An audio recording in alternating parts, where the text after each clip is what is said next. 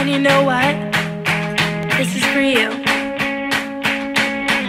I hear what you say about me. I honestly don't believe that I waste my tears over your words.